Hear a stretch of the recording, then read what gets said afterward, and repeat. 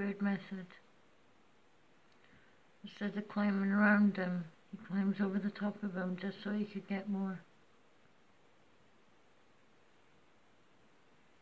That's so wrong.